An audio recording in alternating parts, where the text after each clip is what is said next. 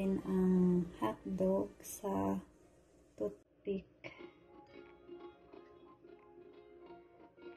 Isa-isa.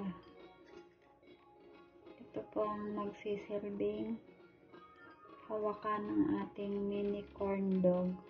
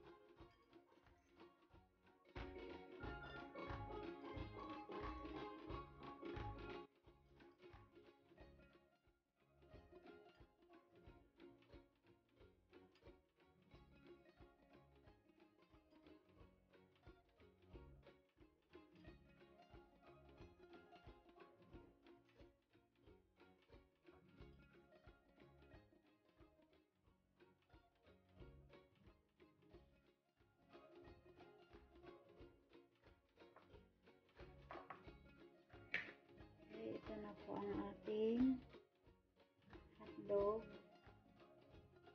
na tinusok sa toothpick.